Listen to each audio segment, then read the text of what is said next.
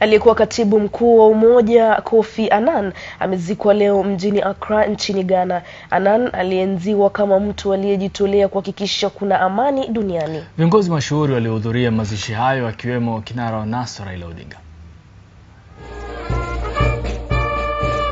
Ibada ya wafu ya aliyekuwa katibu mkuu wa Umoja wa Mataifa Kofi Annan mjini Accra, Ghana.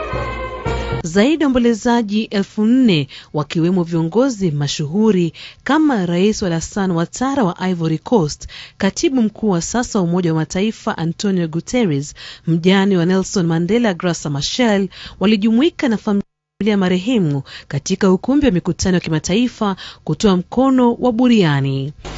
To the rest of the big world, he was Kofi Annan, global statesman par excellence.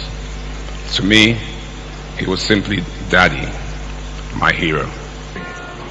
Katika ujumbe wake wa mwisho kwa mumewe mjane Nana, ameeleza jinsi Anan daima alivyotazamia kurudi nyumbani na ameishukuru Ghana kwa kumleta duniani mtu wa aina yake. Nana pia amesema mumewe atakumbukwa kupitia wakfu wake.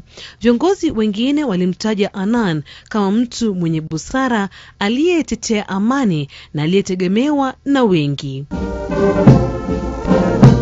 Anan aliyehudumu kama katibu mkuu wa saba wa Umoja wa Mataifa kati ya mwaka 1997 na 2006 alizikwa katika makaburi ya jeshi ya kambi ya Bama mjini Accra.